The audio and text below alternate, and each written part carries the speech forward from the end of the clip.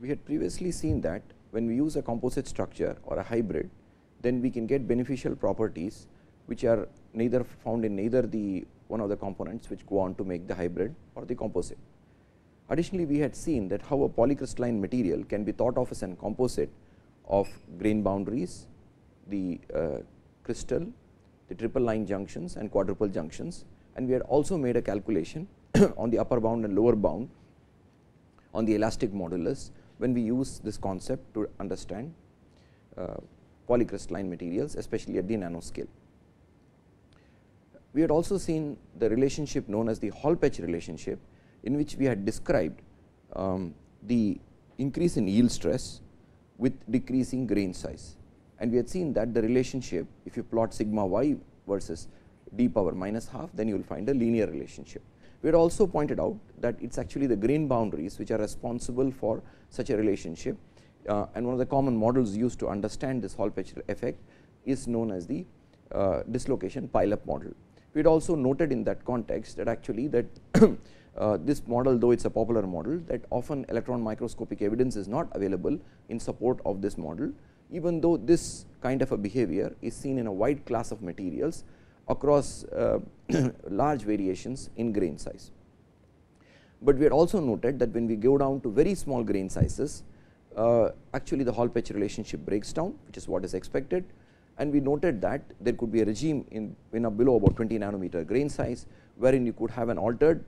um, strengthening, but with decreasing grain size we could have a no strengthening with decreasing grain size or we could also have what you might call an inverse Hall Petch effect which is a um, absolutely new concept which is coming basically in the grain size being in the below about 20 nanometer which is especially new for um, nanocrystalline materials. Now, we will consider an hybrid and we will also explore the possibility of uh, the applicability of Hall Petch relationship in nanolaminates and particulate composites.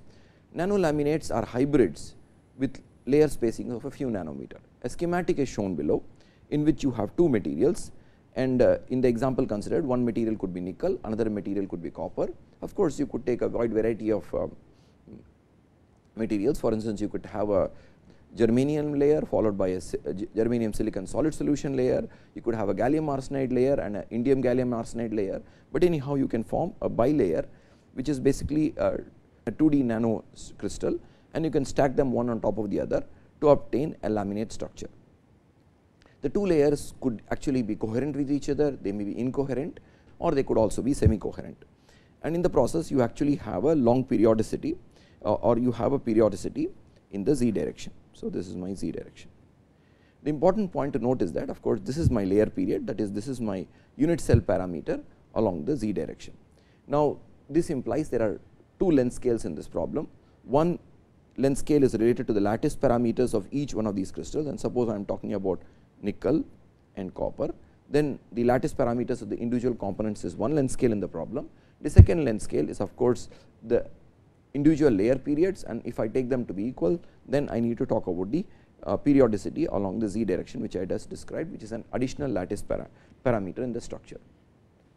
Now, such a structure can be called a super lattice because now and it is a super lattice in the z direction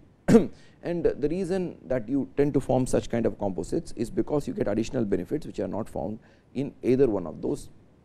individual components. Now, in the case of nickel and copper if I make a nano laminate that means the periodicity is of the order of tens or 20 or 30 nanometers, then it is found that the nano laminate formed from two soft metals like nickel and copper. Nickel and copper both are FCC that implies that uh, the Peierls stress in these structures is small and they easily plastically deform then this nano laminated can have a strength of the order of a few GPa. That means, we are approaching the theoretical shear strength which is of the order of g by 2 pi in nano laminates. This is a very beautiful and strange effect that means that we are getting very high strengths in these nano, nano laminates while each one of those components nickel and copper actually are very soft metals. In titanium nitride, niobium nitride multi layers that means one layer is titanium nitride, the other layer is niobium nitride we can have a hardness value approaching that of about 50 GPa. And if you note the hardness of individual layers like the titanium nitride and niobium nitride that is much lesser than this value of 50 GPa. The important point to note in this context is that not only are we getting this kind of a hardening effect, but suppose I study the hardening effect as a function of the bilayer period and for now I assume that the individual layers made up of either titanium nitride or niobium nitride or in the nickel copper system either of made of nickel and copper are equal thickness. I do not vary that thickness, I keep it constant. But then I vary the overall periodicity or the layer thickness. Then if I plot a log of the bilayer period versus the tensile strength and often in such systems either you measure the tensile strength or you may even measure the hardness, then you find an approximately linear relationship with a plot showing a slope of about point minus 0.5. This is like a Hall Petch behavior. That means that now if I am plotting log bilayer period versus the log of the tensile strength, I find an approximately linear plot which shows a slope of minus 0.5, which means that we are seeing a effect which is very similar to the Hall Petch effect. That means that in the Hall Petch relationship, we originally pointed out that typically we plot yield stress and yield stress follows this relationship. We had extended to say that even hardness follows this relationship. Now, we are saying not only is the grain size d which follows this relationship, but could actually be a bilayer period in a nano laminate or in a laminate structure. So, this is a very interesting effect and if you look deep, look, dwell a little deeper about this nickel copper superlattices, you would notice that in a decreasing bilayer period up to about 20 nanometer leads to an increase in the yield stress in the tension test. Further decrease in bilayer period leads to a decrease in the strength. The peak strength corresponds to about 1 dislocation per layer. So, this linear trend is of course followed in a certain regime as I pointed out and would not be followed in a very large period. But the interesting thing is that the peak strength corresponds to about 1 dislocation per layer. And of course, we will soon see how what is the mechanism which has been attributed to this kind of a strengthening. To summarize this slide, uh, we can not only have nanoscale materials, but we can have nano hybrids in which case the two components forming the composite or the uh, hybrid structure are of both of the nanoscale. In this case the individual layers for instance of nickel and copper are in the nanoscale. And not only that this kind of a nano laminate actually shows very high strength even though it may be made of materials which are actually soft like nickel and copper. And uh, this can approach, approach almost the theoretical shear strength of the material and that means the yield stress could be of the order of gigapascals. And additionally you also observe um, Hall Petch kind of a behavior in a certain grain size or a bilayer, uh, bilayer period regime. Now, the hardening in such multi-layers and superlattices have been explained using a number of concepts. We just list them here, we do not go into the details of some of these, because some of these are uh, still debated upon which is the correct mechanism, which is the dominant mechanism in one kind of a system vis-a-vis uh, correct kind of mechanism in another system. But some of these we list here and we may make a few additional comments. Um, they are talking about increase in barrier strengthening which is giving rise to this kind of an extraordinary strength in the nanoscale. There is expected to be some kind of a coherency between the two layers. Suppose I am talking about uh, two layers, this is my layer A and this is my layer B. So, it is expected that this interface between layer A and layer B could be an coherent interface. That means it, there is an epitaxial relationship between this A and B layers and which gives rise to certain coherency stresses. And these coherency stresses are going to modify your local stress state which is coming from an externally applied shear stress or a tensile stress. It is also assumed that if this bilayer period becomes large and if you start with a, uh, what you might call a coherent system, then uh, it will no longer remain coherent for large thickness and in fact, you may obtain misfit dislocations decorating the interface. So, typically you could have certain decoration of misfit dislocation along the interfaces, which implies that the system is partially coherent and this misfit dislocation would impede the motion and this misfit dislocation as we have noted before is a structural dislocation. It is not a statistically stored dislocation in the bulk of the crystal and such a misfit dislocation would tend to uh, give rise to certain hardening effect which is seen which could attribute to the additional hardness of such a material in the nanoscale. Additionally, there is the concept of the dislocation image force which we have encountered before and this is uh, due to the discontinuity in the elastic modulus at the interfaces. Uh, a few words may be necessary here because this is not the classical image force because in the classical image force we have noted before that you have a free surface and there is a force which is attractive force towards the free surface.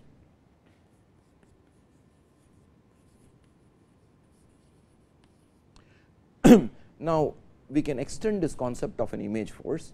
Uh, in this case of course, I can make a image construction. And therefore, the attractive force between the two is called the image force, but I can extend this con and this kind of a force is called a configurational force because this is coming not because of an individual mass particle being attracted to an individual mass particle, but because of the configuration of the entire system. And such a configurational force can also exist between for instance, a harder material and a softer material. And if I put a dislocation in a harder material, it will be attracted towards the softer material and this is I am talking about elastically harder or softer.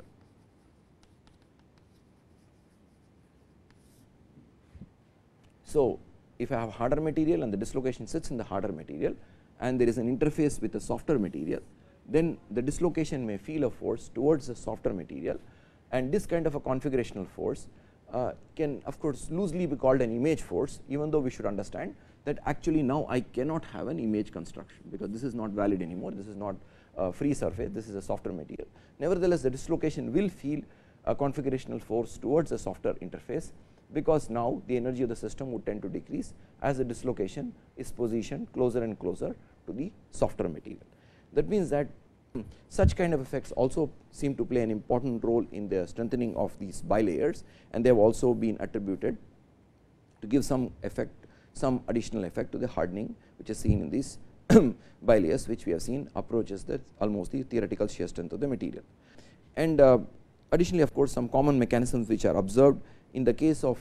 large grain size materials like dislocation pileup and bowing of dislocation which is like the Orowan bowing are also observed, but now we have to note that this can only occur at larger bilayer, bilayer periods. That means that um, in smaller bilayer periods we already noted that there is not enough space for a mechanism like a Frank Read mechanism or a Orowan bowing mechanism to operate and uh, we have already seen that in when you talk about a really small periodicity then the whole region can only support only one dislocation per layer. That means that it is not possible to produce have put multiple dislocations. Of course when I am talking about multiple dislocations I am talking in the thickness direction. So, there could be of course many dislocations in the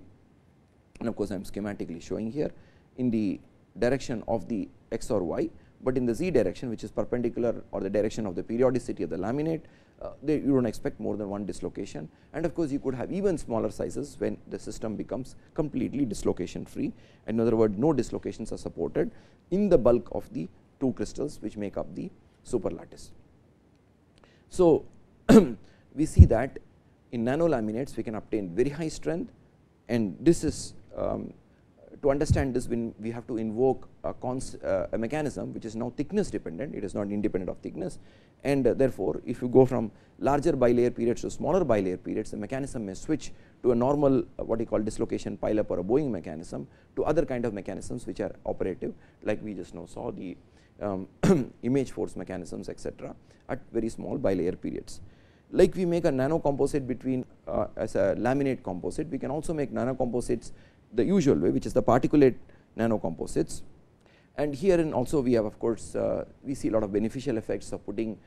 nanoparticles in a bulk matrix. That means, the relevant nano entity in this whole um, system is the reinforcement. That means, I could actually have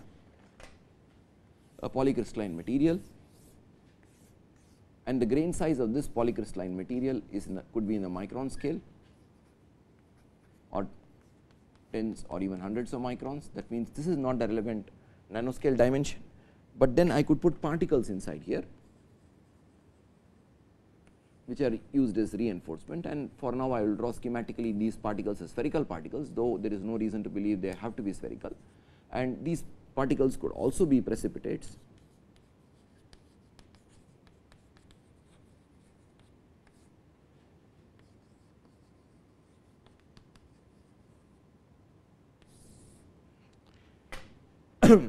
and this nanoscale dispersion of the second phase in a bulk first phase can actually give rise to a tremendous increase in strength as shown in some of these examples here. We have already of course talked in detail about the uh, precipitation hardening system wherein you have precipitates of the scale of 1 to about 100 nanometers and we will not repeat it here, but uh, which is the case of the duralumin which is a precipitation hardening system. But we will take up other examples like nano sized molybdenum in a volume fraction about 5 to 20 percent which is from the usual small volume fraction to a reasonable volume fraction when it is dispersed in a micrometer grain sized alumina that means the grain size of alumina is no longer the nanoscale it is only the molybdenum reinforcement which is in the nanoscale there is considerable improvement in hardness fracture strength and toughness. So, you see that the properties are overall enhanced by putting a uh, nano sized molybdenum in a alumina which and you know that alumina is a ceramic that means that it is prone to brittle fracture and its fracture toughness is expected to be small therefore, there, there is a tremendous reason to add uh, these kind of particles which will give you an increase in fracture strength and also in the increase in toughness and toughness being the energy absorbed before fracture takes place. Nano size silicon carbide dispersions again uh, we are talking about silicon carbide in the nanoscale of about 200 nanometers in the same matrix which is the alumina matrix also leads to an increase in fracture strength by a factor of 3. So, um, this is very very important because alumina as you know is being a ceramic being an oxide it is in a stable state. So, it is prone to uh, it is resistant to some of those usual things which metals are not resistant like corrosion etc. Uh, and it has a good elastic modulus as well, but the problem with ceramics as you know they are very intolerant to cracks in other words they have a poor fracture toughness. So, by add, adding silicon carbide dispersions in nanoscale you can get a increase in strength factor of about fracture strength of about factor of 3 which is a pretty good increase. Um, the high temperature mechanical properties are also pretty good and you know typically these ceramics are uh, do find applications in high temperature and this would be a good thing to add actually silicon carbide. Um, the decrease in hardness with increasing temperature which is what you expect because now you can have thermally activated motion of dislocations. In other words, in normal alumina at room temperature, the strength is very high because dislocations are not that glissile, the Peierls stress is very large. but then when you go to high temperature, some of these will start showing plasticity because now you can have thermally activated slip and also other mechanisms like grain boundary sliding may start to take place. And therefore, um, this smooth, uh, softening effect is significantly reduced when you use an alumina silicon carbide composite rather than a monolithic alumina. That means, you have benefits on all fronts, you have benefit in the fracture toughness, you have benefits in the high temperature strength and also in the case of um, molybdenum in alumina you actually have an increase in um, hardness and toughness also. Therefore, it makes sense now to actually make some of these composites with um, uh, reinforcements in the nanoscale and we have already seen one example wherein carbon nanotubes has been used for reinforcement of alumina and we have seen that typically these are multi-walled carbon nanotubes and by doing so you can actually get a benefit in strength there as well. So, to uh, summarize these slides we have of course individual um, nanostructures which themselves show very good properties, but then we also have composites and hybrids wherein at least one relevant entity is in the nanoscale which can also give us improvement in the properties. Next we take up the issue of creep in nanomaterials. We had earlier talked about creep as a general phenomena and we had also talked about various kind of creep mechanisms and we had uh, talked about issues which will be highlighted when we go down to the nanoscale. We said that some of these mechanisms of creep for instance when we talk about uh, uh, these diffusional mechanisms, when we talk about issues like climb, we said that when you go to nanoscale all these effects will be enhanced and therefore, you would expect certain um, what you call creep rates to be high. Additionally, we also noted one of the important mechanisms of creep is this grain boundary sliding and if uh, if you go down to a and we noted that for grain boundary sliding in some sense we, we have to cross the equicohesive temperature.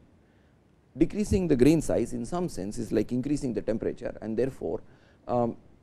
even at low temperature we said we would expect some kind of a what you might call a behavior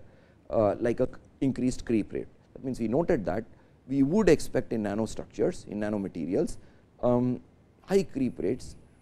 and that too uh, at lower temperature. So, this is what we had expected, we had anticipated. Now, we will actually see how much of this is actually true when you are talking about creep of nanomaterials. And we will see in this case that in some systems we do expect what our expectations were, but in many other systems we not only do not see what our expectations were, but we can even see effects opposite to the that what we had expected. So, if you talk about two important systems like nanocrystalline palladium and copper which have been pretty well investigated and you can clearly see in these cases the grain sizes of the order of 40 or 20 nanometer which is extremely small.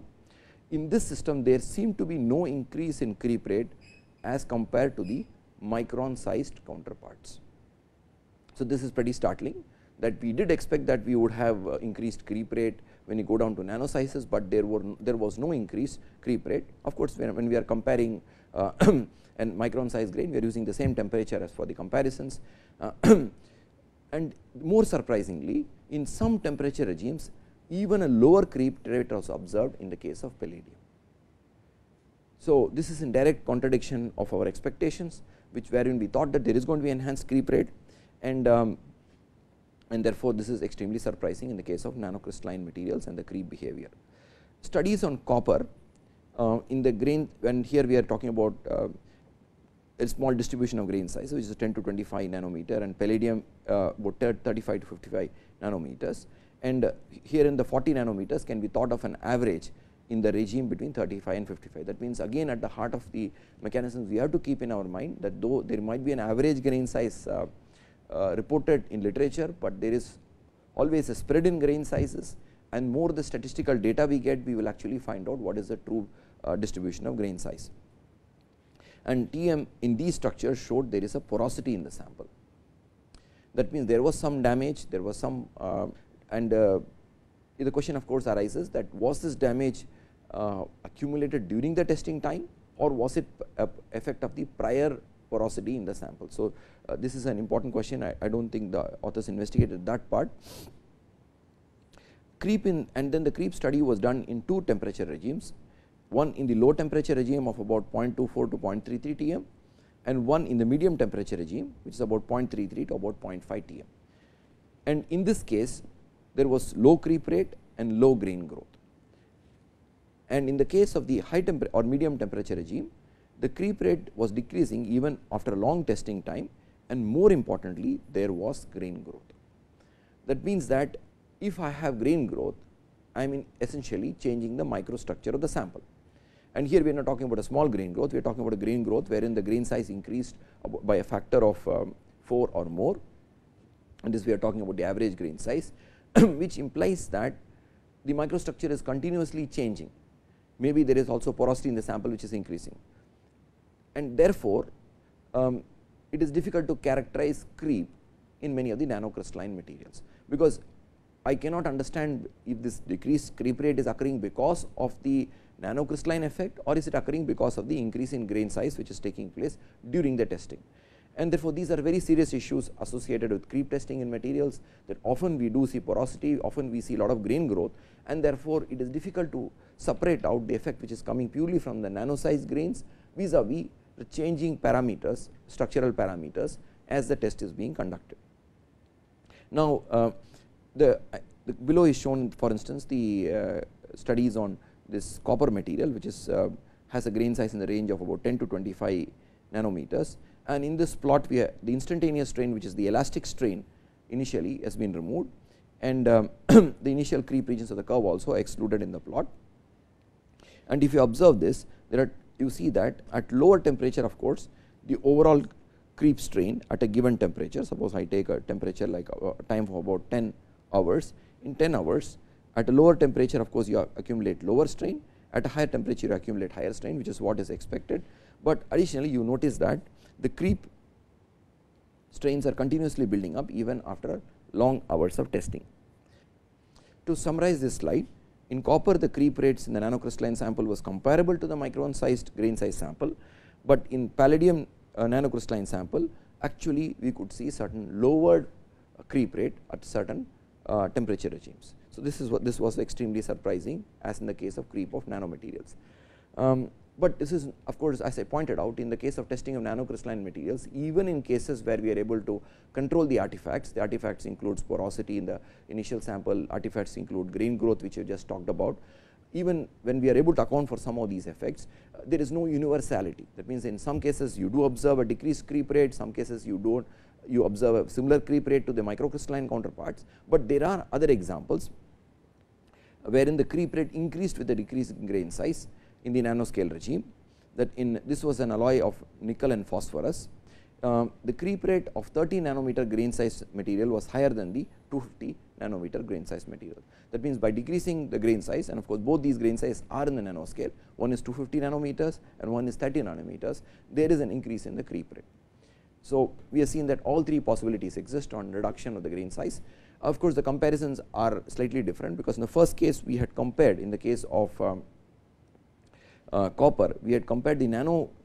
uh, grain sized with a micron grain size sample. Here we are comparing two uh, nanometer grain size samples and we see that there is actually an increase in creep rate as we decrease the grain size. In cases where high creep rate expected for nanocrystalline materials like we see for palladium and copper which are nice metallic materials where the diffusion rate is high was not observed. The reasons are typically attributed to the presence of low angle grain boundaries and twin boundaries. And these low angle grain boundaries are as you know low energy configurations and typically low angle grain boundaries by the Read-Shockley model are decorated by these uh, structural dislocations which actually accommodate the misorientation. Um, these are not prone to sliding and have a low diffusivity for vacancies. Therefore, um, because there is a predominance of these uh, low angle grain boundaries which is what is a theoretical basis for understanding that why such a material in spite of being in the nanoscale does not show high creep rate. and additionally low dislocation activity is also being attributed to this low creep rate. We had seen that even when there is a grain boundary sliding two other factors often come into the picture one is dislocation activity another is diffusion. So, because if you have just grain boundary sliding you will have triple uh, junction cracks and these triple junction cracks have to be healed by diffusion and often have to be uh, otherwise um, what we call healed out by plastic deformation which involves dislocation activity. Therefore, to summarize these two slides on creep of nanomaterials, um, we have cases where there is an increase in creep rate on decreasing size. There are cases where there is no not much difference to be talked about, but there are also cases where there is an increased creep rate on decreasing the grain size. And uh, one nice example where actually an increased creep rate with decreasing grain size was seen is in nanocrystalline nickel and these are room temperature studies. So, this is very very interesting because now we are know this is something very close to the kind of expectation we had earlier raised that we would have higher creep rate under two conditions perhaps under higher strain rate and at lower temperatures. So, here the temperature is at room temperature and of course, we are now making comparisons of grain sizes in the extremely small regime in the grain size of the order of 6 nanometer, 20 nanometer and 40 nanometer.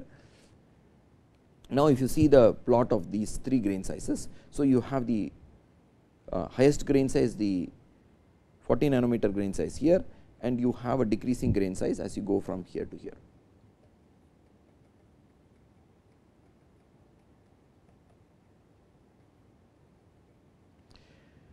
Now, what you note that this is a stress strain rate plot and for a given stress and for a given testing time you notice that actually the strain rate increased with decrease in grain size. The smaller grain size sample the 6 nanometer sample show a faster creep rate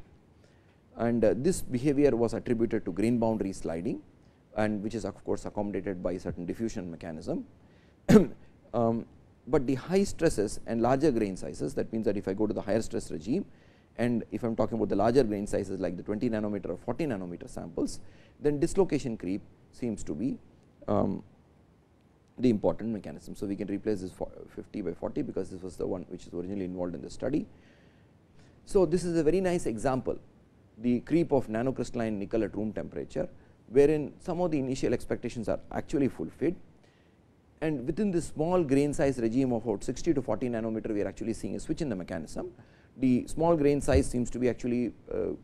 seem to some sort of undergo grain boundary sliding accommodated by diffusion while the larger grain sizes under higher stresses seem to undergo dislocation creep.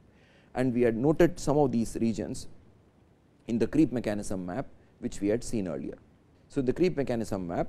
uh, we had noted that it is usually in the higher stress region which is um, in this axis that you tend to observe dislocation creep and in the low stress region you tend to observe diffusional creep. So, you see that this is the region of the diffusional creep and in higher stress region you actually obtain dislocation creep. So, this is a very interesting study again we have to keep a few things in mind that when you are talking about 6 nanometer grain size we have to worry that uh, obviously the grain size is not just one number like 6 nanometer there is going to be a spread in the grain sizes, but nevertheless um, keeping all the other artifacts away we notice that this is a very interesting example where creep rate creep increased creep rate has been observed at room temperature. And uh, the creep mechanism is consistent with our expectation that it is going to be grain boundary sliding at low grain sizes, but nevertheless in spite of 40 and 20 nanometers being a small grain size, you see a switch in mechanism especially when you apply higher stress. So, um, we have all kinds of material here, we have pure palladium, pure copper, we have uh, uh, uh, alloys like nickel phosphorus nanocrystalline material and we also have nickel. And you see that each one of these though some of them are very similar like nickel and copper are FCC materials, uh, we do see a very wide variety of behavior in the nanoscale materials. So, as far as the understanding goes today uh, that there is no what you may call generalized principle which we can apply to understand creep of nanomaterials, though we do understand some of the mechanisms which would be operated at larger grain sizes and the mechanisms would be which would be operative at smaller grain sizes. We had made lot of observations regarding superplasticity in nanomaterials and we had also noted previously that superplasticity in some sense is a very closely related phenomena to creep except that in superplasticity damage accumulation does not lead to failure and therefore, you are able to get long uh, very long tensile elongations of the order of 350 percent to 2000 percent and therefore, uh, this gives us a beautiful mechanism or super by superplastic deformation we can obtain uh, uh, nice shapes and we can use it as a nice production method. But in most cases it is observed that uh, the initial expectations are again not fulfilled as far as superplasticity in nanomaterials is concerned. In many cases superplasticity is only observed in nanocrystalline samples where it is already observed in microcrystalline counterparts. That means, there is nothing very surprising and we have already seen that many cases we see a completely contradictory behavior in nanocrystalline materials as compared to bulk materials. And later on also we will see examples for instance, there are materials which are antiferromagnetic in the bulk, but which will tend to become ferromagnetic in the nanoscale. So, these are very surprising effects, but in case of superplasticity most of the cases it is seen that superplasticity is only observed in cases where already in the micron scale grain size sample you observe superplasticity. Uh, superplasticity observed in micro nanocrystalline nickel with a grain size of about 20 nanometer at 0.360 m that means it is more than about 450 degrees lower than the bulk material. So, having said that the initial expectations are not fulfilled, we will take up a few examples to see that where uh, there is some interesting results. That means, uh, there are some examples where you did not observe uh, superplasticity in the microcrystalline counterparts, but you did observe it in the nanocrystalline version or you observed it at a higher strain rate which is also very good or you observed it at lower temperature. So, all three cases would be very very interesting. So, maybe I should write this down.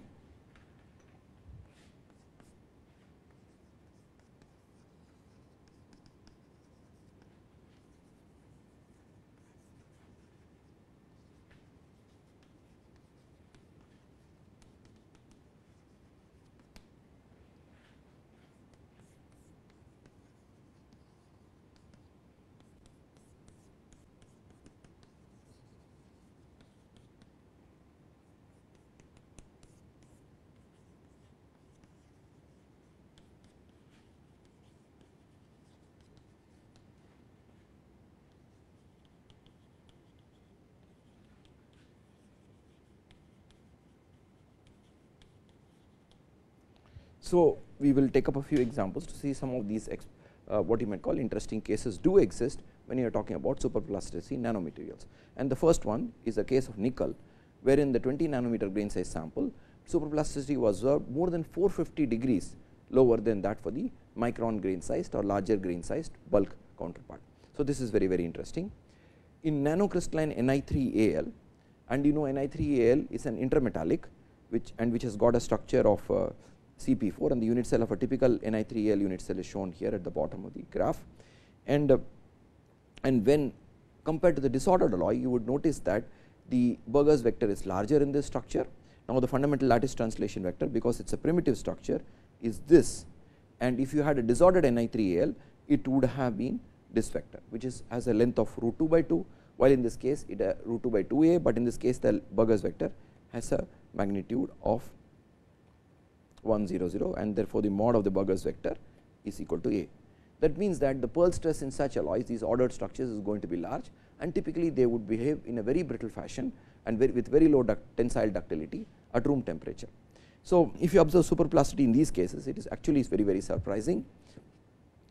and uh, the 50 nanometer grain size nanocrystalline Ni3Al became superplastic 450 degrees below its microcrystalline counterparts. So, this is again very beneficial that means that uh, Ni3Al is a technologically important intermetallic and therefore, if I am able to superplastically form Ni3Al 450 de degrees below its microcrystalline counterparts, then I have very important industrial applications for the nanocrystalline sample. Ni3Al had a ductility of 350 percent at 650 degrees at a strain rate of about 10 power minus 3 per second. So, here and again we are not talking about very high strain rates of deformation reasonably uh, what you might call slow strain, uh, slow strain rates of deformation, but nevertheless we have a good ductility of 350 percent and given the fact that this intermetallic normally tension and tested in tension would have very negligible ductility, this is very good and you can see the temperature is also very reasonable for an industrial application. So, we are, therefore, we are able to see superplasticity at reduced temperature in a pure material like nickel, but also in an intermetallic like Ni3Al. In the case of 1420 aluminum alloy showed superplasticity at high strain rate of about 10 power minus 1 per second. High amount of work hardening and higher flow stress for superplastic deformation as compared to the micron size sample is also observed in these cases. This implies that one of the at least the important uh, expectations is fulfilled in the case of the 1420 aluminum alloy, wherein very high strain rates 10 power minus 1 is typically the uh, almost like a normal tensile kind of a test strain rate which you in a slow test you might want to perform and therefore, this is not typically the regime of superplastic forming like for instance 10 power minus 3 or 10 power minus 4. So, these are couple of orders of magnitude higher than what you would usually employ in a superplastic uh, deformation and still you are able to obtain a good uh, deformation in the case of this aluminum alloy. The high amount of work hardening also implies that there is an accumulation of uh, uh, what you may call dislocation density, which is actually hardening the material. And here also you observe that the stress for superplastic forming is higher than its micron sized counterparts. Another interesting example is in the case of superplasticity in the 40 nanometer grain size zinc aluminum alloy. And uh, this example is interesting because this alloy showed superplasticity about 373 Kelvin which is a very low temperature and uh, strain data is of course small, but the important thing here the microcrystalline samples that means the bulk counterparts of this showed no superplasticity. So, this is another very interesting example and now therefore, we have covered a gamut of all the possibilities. We have covered pure materials like nickel, we have covered intermetallics like Ni3Al, we have talked about alloys like zinc aluminum alloy and 1420 aluminum alloy. We have seen that superplasticity does take place in one of these cases in high, at high strain rates. In couple of these cases you observe superplasticity at uh, what you might call much lower temperatures and additionally you also observe superplasticity in cases where there is no superplasticity in the bulk counterpart. So, this is a very interesting gamut of possibilities when it comes to superplasticity of nanomaterials.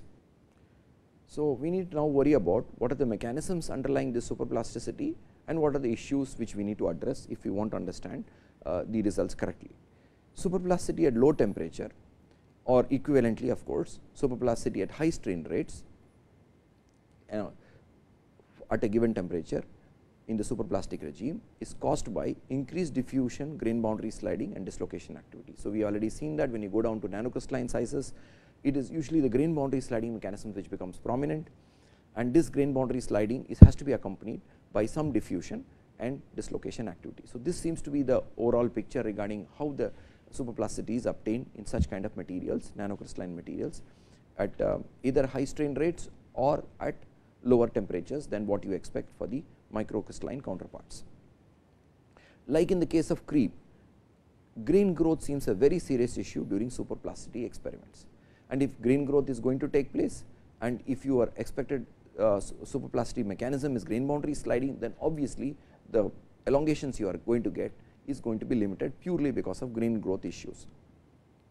In the case of nanocrystalline nickel, it was seen that the grain size could increase to micron sizes starting from grain size order 20 nanometer. So, this is happening during the testing that means during superplastic forming the grain size is increasing from about 20 nanometer to about something of the micron sized which is a very serious issue in superplastic testing. That means that uh, even though my initial material had this ability to deform to large extent, but during the test itself the grain growth would rather reduce my overall available uh, ductility. In other materials the grain growth could be less. I mean this was a very drastic example in the case of nanocrystalline nickel, but in other experiments it was not necessary that the same kind of grain growth was a issue, but nevertheless grain growth could have taken place. Uh, and you always expect that grain growth is going to be less in a two phase mixtures, if the second phase especially is a precipitate and or they are intermetallic compounds, because in intermetallic compounds as you know they are very hard then and um, the grain boundary is less glissile. In two phase mixture the second phase has a pinning effect on the grain boundaries while in intermetallics like Ni3Al uh, the order has to be maintained as the grain growth has to take place which means now that suppose I really want superplasticity retaining my grain growth and um, and my final product has to have the same grain size as my initial starting testing uh, sample. That implies that I have to either work with a two phase mixture where the second phase could be a precipitate or a kind of a dispersion which will sort of impede my grain growth which will have a pinning effect on the grain boundaries migration and therefore leading to grain growth. Or I need to work with the intermetallic uh, wherein the grain boundary migration involves Uh, also is impeded by the fact that now you have two sublattices or more. And for instance in the case of the Ni3Al one sublattice is occupied by aluminum and the remaining three sublattices are occupied by nickel. And therefore this sublattice structure has to be maintained. And this means that grain boundary motion is going to be more difficult. In cases where grain boundary sliding is the predominant mechanism for superplasticity and one example for that is typically magnesium based alloys it is seen that non-equilibrium grain boundaries give a lower elongation as compared to equilibrium grain boundaries. Uh, and this is due expected due to the long range stress fields associated with non-equilibrium grain boundaries which are which is expected to hamper grain boundary sliding. So, this is an important effect wherein we are talking about two kinds of grain boundaries that grain boundary which is called an equilibrium grain boundary, but when we use the terminology equilibrium we have to remember that we are not talking about a global equilibrium because in the global equilibrium case the system would not want to have a grain boundary and it would rather prefer to be a single crystal. Uh, what we mean by a equilibrium in this case is a local kind of an equilibrium and what is implied by a non-equilibrium grain boundary is the fact that there are additional dislocations which are not the structural dislocations which reside close to the grain boundary. So, you have a grain boundary and this grain boundary itself may be uh, by the Read-Shockley model may have certain dislocations which are now the interfacial dislocations, but are the, or the grain boundary dislocations, but in addition to it this grain boundary may be associated with additional dislocations. And these additional dislocations which I am drawing in red give rise to a long range stress field for this grain boundary because this array of dislocations do not does not have a long range stress field while these red dislocations will give rise to a long range stress field. And due to these long range stress fields the associated with the non equilibrium grain boundaries is expected to hamper grain boundary sliding. So, this is uh, issue which is uh, wherein they have people have gone into details of the mechanisms of how the grain boundary sliding take place and what kind of a um, grain boundary would give you what you call an easy grain sliding versus a difficult sliding and it is seen that equilibrium um, grain boundaries would slide easier as compared to the non-equilibrium grain boundaries which are associated with a long range stress field. In the case of Ni3Al, the high flow stress and extensive strain hardening during superplastic deformation has been attributed to depletion of dislocations and high stresses required for nucleation of new ones. So, we notice when we talked about the Ni3Al structure and its superplastic forming here and we notice that uh, you have superplastic deformation of 50 nanometer grain size sample. it is observed here that the high flow stress is observed and additionally there is extensive strain hardening during superplastic deformation that means with progress in superplastic deformation the stress has to be increased that means the forming cannot take place at constant stress and this is attributed to depletion of dislocations and high stresses required for nucleation of new ones. So, this is um, been the reason why Ni3Al uh, is um, is difficult to form. But we have to also note the additional fact that Ni3Al being an ordered structure, the dislocation structures, the kind of partials we are talking, the kind of stacking faults we are talking is going to be very different from that of a uh, normal material like aluminum. For instance, uh, um, Ni3Al would have something known as superlattice intrinsic stacking faults and superlattice extrinsic stacking faults, which are not observed in the normal uh, metallic counterparts. Next, we take up the important issue. We had lot to say about a quantity known as the strain rate sensitivity. So, let us go back and review our slides wherein we had talked about this quantity called the strain rate sensitivity. We had said that we can do deformation at low temperatures or high temperatures and when I mean low temperatures we had said that temperatures below the recrystallization temperatures is about 0.5 tm less than the uh, 0.5 tm or less and we have noted at low temperatures the important variable the relevant variable amongst the four important variables stress, strain, strain rate and temperature is strain. At high temperature in another system at low temperature system sort of becomes a build for energy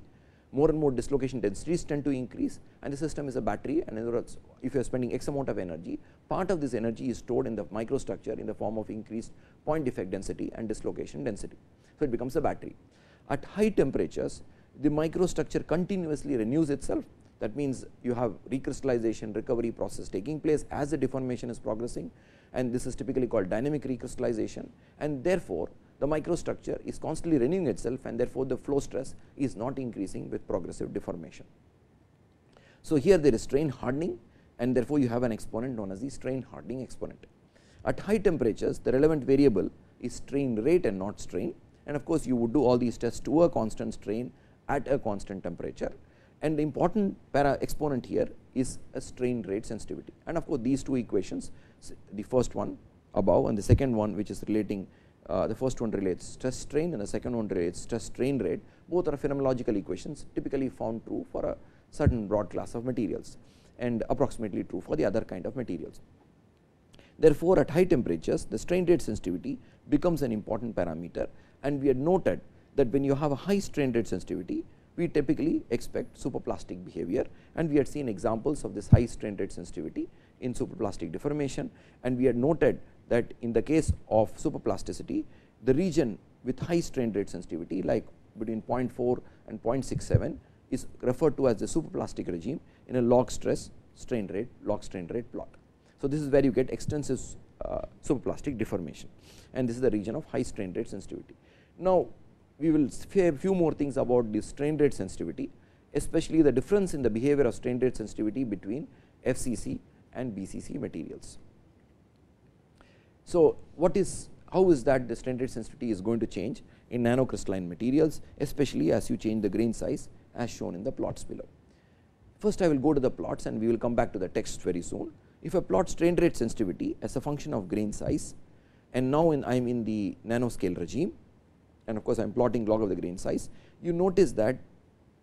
for FCC nanocrystalline materials, the strain rate sensitivity decreases with an increasing grain size. While on the other hand, suppose I talk about nanocrystalline BCC material like iron, then I notice that the strain rate sensitivity actually increases with an increase in the grain size. So, the effects are exactly opponent when you are talking about nanocrystalline materials and the important parameter of strain rate sensitivity and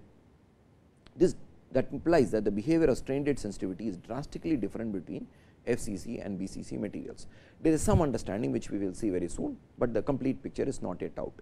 in FCC material M decreases with grain size and this grain size variation is over a few orders of magnitude and in BCC material M increases with grain size unlike in the FCC materials. And you should be noted that the trend lines which we have seen below. So, these are trend lines and these are not uh, exactly followed for one material or one testing condition are arrived by putting together results obtained in many materials and these are obtained through many processing routes. And we have already seen the important differences and important property differences which can come from processing route itself. We had noticed that in the case of uh, for instance electro deposited nickel how different in properties it can be from for instance a powder consolidated nickel. So, we have seen that processing route can play a very profound role profound have a profound influence on the properties. And therefore, when we see such trend lines we have to keep that at the back of the mind. In FCC materials so far our understanding goes that forest dislocations that means a single dislocation cutting through a forest of other dislocations and grain boundary impediment seems to play an important role and the exact reasons for this strain rate sensitivity are not yet clear. And so, we will not discuss that aspect more, but this forest dislocation hardening mechanism and also the grain boundary impediment, impediment mechanism seems to play an important role in FCC materials. In BCC materials on the other hand, mobility of screw dislocation seem to control the whole plasticity. Of course, this is true for any kind of BCC material and this strain rate sensitivity dependence also seems to have a very profound uh, connection with this mobility of screw dislocations in BCC materials the reason being that in BCC materials, uh, the edge component actually has a lower Peierls stress as compared to the sc uh, screw component in any material. And in BCC materials the screw dislocation actually has a core splitting along the 111 plane in the 3 equivalent 111 kind of a direction, 3, three perpendicular uh, 3 one directions which are 120 degree apart. As you know in screw dislocation uh, in BCC materials or in the uh, Burgers vector is along the 111 direction. And the screw dislocation actually splits the core of the dislocation splits along three directions which are 120 degree apart. Now, of course, the this kind of a splitting implies that if the screw dislocation has to move then the core has to collapse and move to a new plane and this implies that the Peierls stress for motion of screw dislocations is very large. And therefore, if I am doing a plastic deformation of a sample having edge and screw dislocations or more precisely having edge and screw components, the edge components would actually leave the crystal which implies that I will be left with more of screw kind of components in the material. And this high Peierls stress implies that instead of the entire dislocation line moving, there is a mechanism which is if you refer to the slide now known as the kink pair formation mechanism, its propagation seems to play a very important role. So, I will briefly draw what is meant by this kink pair formation mechanism and its propagation to understand plastic deformation in BCC materials and also the case of which is directly connected or which is given as one of the important reasons for this strain rate sensitivity. So, if I have a dislocation line, the entire dislocation line can move by a Burgers vector and come here. And an alternate possibility is that this dislocation line may actually develop a kink pair that means it can form a double kink like this and then this double kink can actually propagate that means now the stress I need to apply is much smaller because I am only propagating a small segment. I am not propagating the entire dislocation by one by one Burgers vector. So, this can actually propagate. And finally, of course, when the entire uh, these segment would have left to the top, this segment comes down to the bottom, I would have the motion of a dislocation stepped up by 1 b. Therefore, I can see that dislocation itself is a media medium by which actually you can actually avoid the shearing of the entire crystal. You reduce that problem of shearing of the entire crystal to small regions in the crystal and typically the analogy given is a fold in a carpet that you actually make a fold in a carpet and roll it. So, moving the pulling the entire carpet I make a fold and roll down this fold down to actually get a little elongation and I can make repeated folds to move the carpet. So, this is the analogy given to understand how a dislocation weakens a crystal, but this is a second order effect wherein even this whole dislocation need not go by one single Burgers vector, but you can nucleate a kink pair and this kink pair can propagate orthogonal to the direction of the motion of the dislocation finally moving the dislocation. So, I can actually have a second order mechanism operating which is going to weaken my crystal. But nevertheless, it is uh, these trend lines we need to keep in mind that uh, we have exactly opposite trend lines when it comes to strain rate sensitivity of nanocrystalline materials and this is for instance could be a, uh, a material like a BCC FCC copper while this could be a material like FCC iron BCC iron.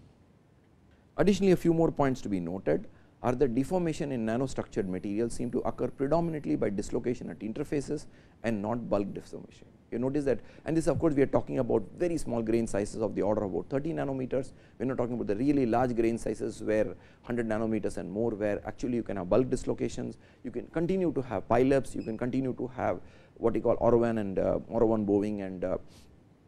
Frank green mechanisms, but when you go to really small grain sizes then dislocations at interfaces seem to play a very very important role and we have noted that an example here that these are some of the interfacial dislocations grain boundary dislocations and additionally some of these which get closely associated which are which creates my non equilibrium grain boundaries. and if these dislocations sit exactly at the grain boundary then they seem to have a they have a Burgers vector smaller than the lattice dislocations and in some in situ TEM experiments mobile dislocation observed uh, were observed were not observed when the grain size is below 30 nanometer. That means, really TEM experiments have confirmed the fact that when you go into really small grain sizes like 20 nanometer and 30 nanometer, there seems to be a paucity of lattice dislocations and it is the grain boundary region which becomes important from in including uh, from the sliding perspective and also from the perspective of dislocation activity. And in brittle materials like ceramics at small grain sizes, grain boundary sliding may be the predominant mechanisms for plastic deformation. So, this is already we have stated it before, we just restating it that grain boundary is the region of activity and in brittle materials like ceramics typically there is not much of dislocation activity at uh, low temperatures and therefore, you expect that grain boundary sliding is going to be an important phenomenon. However, we have been repeatedly saying some of the aspects and we just summarize this here that much more work has to be done to understand creep superplasticity and also plastic deformation in general in nanocrystalline materials. Um, we have already noted that in some cases the grain boundary structure is found to be similar to the bulk counterpart, some cases there is a difference between the grain boundary structure in a bulk versus the nano. Um, so, what is the work which we need to be done, so that we can now put creep and superplasticity on a sound footing, wherein we can talk about a broader class of materials under one umbrella of or one few fewer parameters of understanding. In the case of creep,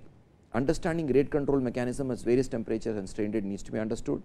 creep tests need to be conducted over a wide range of temperature and stress and the stress exponent and activation energy needs to be determined. Grain size sensitivity needs to be determined by synthesizing materials with a wide range of grain sizes. It is a very challenging problem and not only when you are talking about wide range of grain sizes, we are talking about a close to mono disperse grain size. Large strain steady state creep experiment need to be performed, which is another uh, area where a lot of work needs to be done. Pure materials should be used because um, in typically in multi-phase materials we have seen a few examples though there is an advantage of using them because grain growth is small, but then uh, understanding the underlying mechanisms become difficult in uh, multi-phase materials. The role of triple junctions in creep also needs to be ascertained. That means that we already seen that triple lines and quadruple junctions are all very important in the case of nanomaterials, but their role is poorly understood when it comes to creep. In case of superplasticity, we need to obtain porosity free samples and surface scratch free samples, because surface scratches can severely limit the overall superplasticity which I am going to get. The role of grain boundary sliding in deformation sheets uh, needs to be determined that how much part of it is actually grain boundary sliding, how much of it is actually plasticity or dislocation uh, related mechanisms role on role of grain size on flow stress and mechanisms operative also need to be determined. So, though we have briefly listed some of the factors, it is um,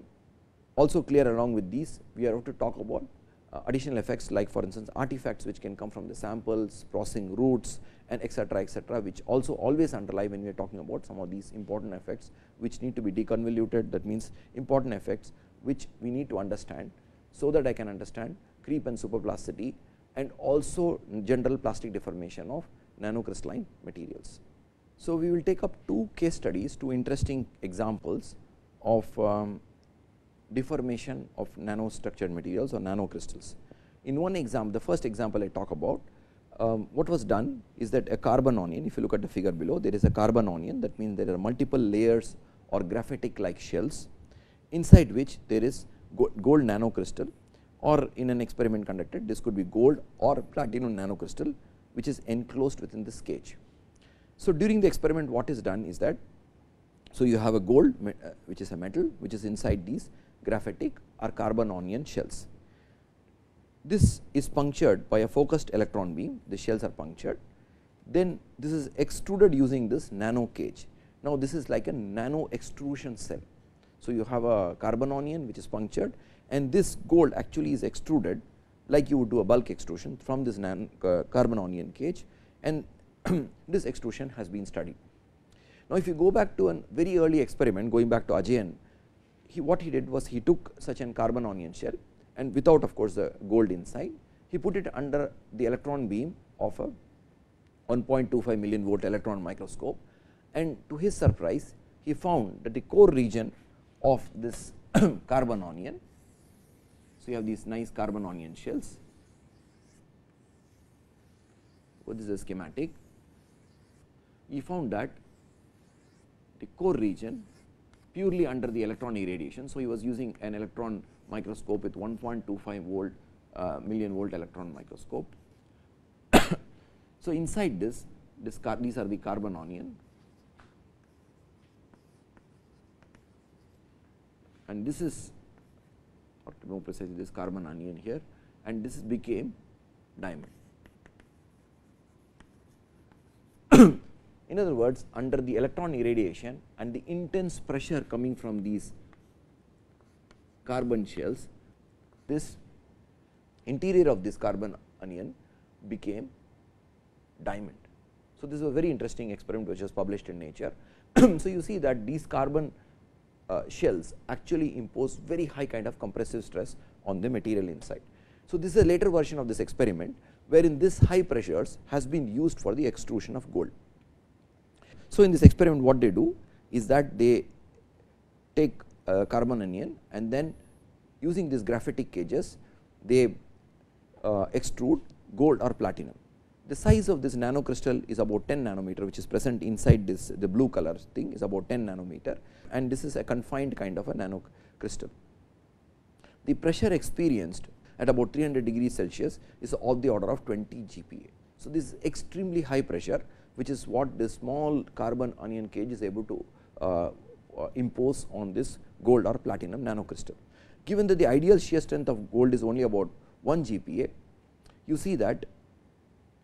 this regime can be actually called the ultra strong regime and uh, therefore, you are actually extruding or keeping the material in the ultra strong condition under this kind of a carbon onion shell. The crystal had a perfect atomic structure uh, with grain boundaries and stacking faults occasionally present. So, the gold crystal when you observe it under electron microscope occasionally you do see grain boundaries and stacking faults, but apart from that it is a perfect crystal and because of this high pressure the lattice parameter is actually uh, smaller than the bulk lattice parameter. When holes are punctured by an electron beam the nanocrystal was extruded due to the high pressures inside the shell and of course, the important question to ask if there are no dislocations in the material because you can see that there are grain boundaries and stacking fault, but there are no dislocations then how is deformation proceeding in the absence of dislocations. is it going to be dislocation uh, diffusional mechanism like a creep which is operative here diffusional creep or is it some other mechanisms. the mechanisms which the authors of this paper which is Sun et al. they have proposed is that the mechanism is supposed to be because of nucleation and propagation of dislocations, though in their transmission electron microscopy observation they did not observe any dislocation, but they did molecular dynamic study and parallelly they performed diffusion calculations to show that diffusional effects could be actually smaller, but you do see that there is a faceting of the crystal when it comes out of the carbon nanotube, but this faceting cannot obviously take place without diffusion. So, that means diffusion is playing a role in the overall process, but they ruled out diffusion as a possible mechanism for uh, this plastic deformation or the deformation of this gold nanocrystal through this graphitic punctured graphitic cage. And they propose that it is actually nucleation and propagation of partials or dislocations which is responsible for this kind of a plastic deformation in the ultra strong regime of crystals wherein this material is kept under a pressure of about 20 gigapascals. So, this is one nice example wherein a nano crystal is placed inside a nano cage which is extruded uh, by a nano hole. So, this is a very nice kind of an experiment and you can clearly see that the kind of pressures we are talking about, the kind of mechanisms we are talking about, the kind of experimental issues in actually observing some of the effects is very difficult and we have to do secondary computations like molecular dynamics to actually uh, sort of propose come, come up with a mechanism like uh, this partials or full dislocations moving through the crystal and causing leading to this extrusion. In the second case is a case of deformation of silicon single crystals and there are two um, examples we will take. One is the bulk silicon wherein there is an actually an indentation experiment and there is also a compression experiment of silicon nanospheres. And we will try to see the difference in be, uh, deformation behavior between bulk silicon and which is an of course, an indentation experiment and the second experiment is compression of silicon nanospheres. In bulk, bulk silicon which is typically called silicon 1 which has a diamond cubic structure and we know it is a brittle material at room temperature. It actually transforms to a tetragonal structure under high pressure which is what is experienced under a diamond indenter and this structure which is tetragonal and which is a metallic form is called silicon 2. And uh, this structure the metallic form of silicon is similar to the beta tin structure and we know that tin also uh, is found in alpha tin and beta tin form and not only there is a crystal structure transformation when it goes to alpha to beta, but there is also a change in the character of the metallic character when alpha tin goes to beta tin. And this transformation in the case of silicon actually occurs at a very high pressure of about 12 GPa. And suppose I plot the load displacement curve for bulk silicon and now this is load in indentation. This shows a very interesting feature. And if you look at the load displacement curve here below for bulk silicon, you see that during loading there is a nice smooth curve. But while unloading there are two important effects. That the curve comes and there is an additional effect which is called the elbow. That means there is actually a sort of a curvature change. And additionally there is an effect which is known as the push out or the PO effect. And this is observed only during unloading. Now, what is the reason for this is that this PO or kink back effects as sometimes called occurs during unloading and is a signature of the phase transformation of silicon 2 to other allotropic forms of silicon. So, you have silicon 1 which transforms to silicon 2 under high pressures which is under the indenter, but when you actually unload that means now you are relaxing the structure this uh, silicon 2 actually transforms to other allotropic forms like silicon 3 and which is BCC or rhombohedral silicon uh, 12 structure which are metastable forms of the silicon. And additionally this elbow part which I mentioned is actually a signature of the amorphization of silicon. So, some part of the silicon is also getting amorphized. Now, if you compare this bulk silicon indentation experiment which is a deformation experiment with an deformation of silicon nanospheres. So, what I am doing here in the second case is actually I am taking silicon nanospheres and putting them under 2 and actually doing a compression experiment on silicon nanospheres.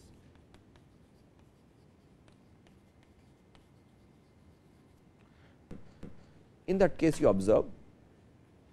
that the loading part of the curve and also the unloading part actually shows a slight difference. In the loading part you observe something known as a pop in phenomena and these nanospheres had a size of about 57 nanometer or smaller.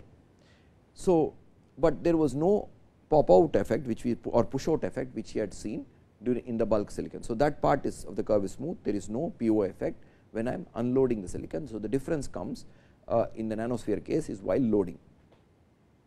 and this has been termed this pop in effect as a deconfinement effect and is can be attributed to the onset of plasticity in a dislocation free crystal. So, clearly